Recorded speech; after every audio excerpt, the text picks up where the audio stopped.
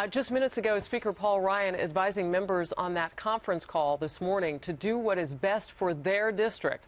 Also saying he will spend his energy now making sure Hillary Clinton does not get a blank check with a Democrat controlled Congress. All right, I come out to you with the news of this, and apparently he jumped back on the call, Bill, and said this does not mean that he is unendorsing Trump. Your mm. thoughts?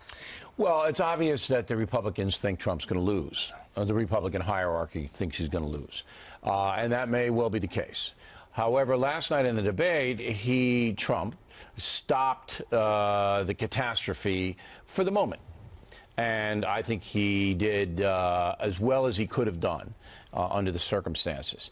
But let's face it, um, if the Republican Party loses the House, and that's Ryan's um, responsibility, then if Hillary Clinton is elected, the country takes a radical turn to the left.